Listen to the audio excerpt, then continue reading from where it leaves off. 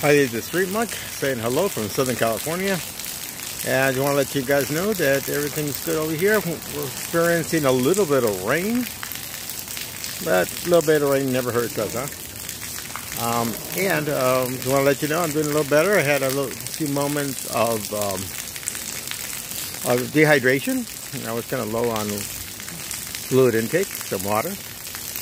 Took me a few days to recover, but I'm doing okay. I uh, just want to let you know we're doing all okay over here. Um, luckily, a lot of my friends out here on the streets are doing well. I think they're being housed right now. Hard to tell since um, I can't find really many, too many people here, but I got word by a few friends of mine that uh, a lot of these guys, um,